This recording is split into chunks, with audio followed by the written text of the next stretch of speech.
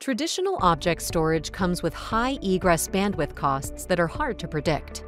Cloudflare R2 is an S3 compatible object storage solution that lets you access data stored in the cloud without any egress fees, so you can access data freely whenever you want.